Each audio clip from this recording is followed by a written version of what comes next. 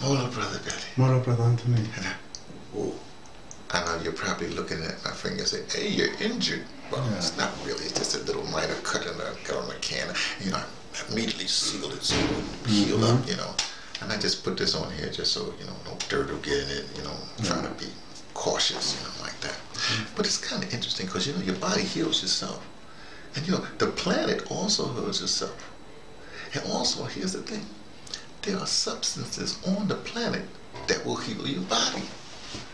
I came across one. Well, I was looking on the, on the, on the, on the internet, on the YouTube, and I came across this lecture. Hold on a second. Can you just hold that for me? Okay. Something. I got no. I think I got it right here. I'll, I'll take that back. It's a, uh, okay. okay. It was a lecture. One of those uh, TEDx, uh, someone from Colorado. See, the reason why I was in Colorado because the lecture was on cannabis. Cannabis is a, you know, it has a, it has a lot of has a lot of names. You know what I mean? It's like uh, they call it uh, marijuana and weed. You know, and then in South Africa, the name is Dagga. Is that how you say it? Dagga. Dagga. D-A-G-G-A. Well, I mean, but it's called a holy weed, that, I mean, the holy herb, and all that stuff, you know what I mean? But here's the thing.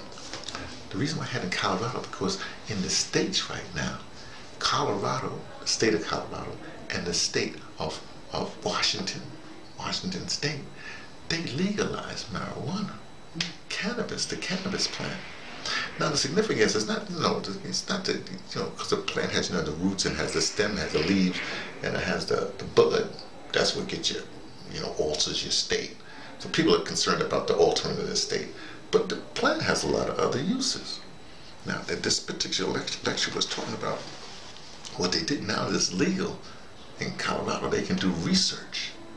So they came up with this pill and they treat, now there's a thing called pediatric epilepsy, epilepsy. You know, the, the, one where you get the seizures and stuff like that. Mm. There's a thing called grand mal seizures. Now, this the little girl there, well, this pediatric, there was a little girl five years old.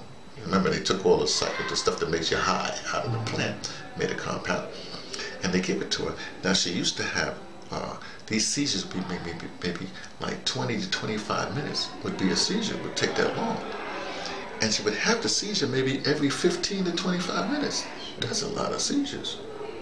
Now, another case that they talked about this thing called Doose syndrome. Again, seizures. Now, this, this young boy, he had seizures. He was having seizures, something like 400 seizures a week.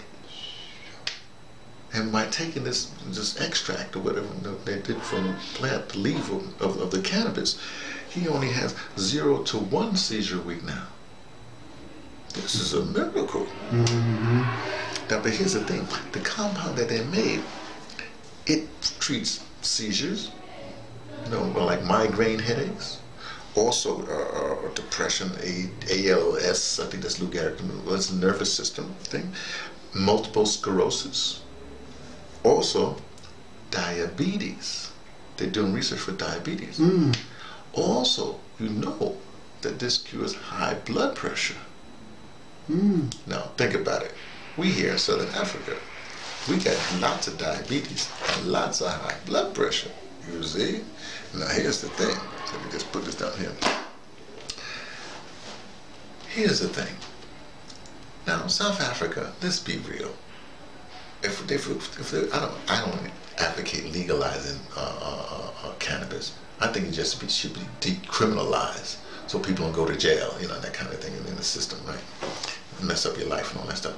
But, you know, you got the brand name down in this area. Think about that. If they decriminalize or legalize, well, say they legalize uh, marijuana in Swaziland, that's a brand name, Swazi. Everybody be coming here. I should tell you this. Swazi is actually not the best herb down here. The best herb comes from, from Malawi, but we won't talk about that right now. But here's the point at some particular the Southern Africa region, they're going to say, oh, it's legal in the United States. Let's make it legal here.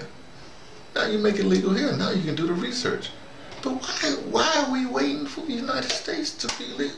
Why don't we You see what I'm saying? Mm-hmm. And see, because they're going to make the compound and they're going to get rich off of that and they're going to spread it here.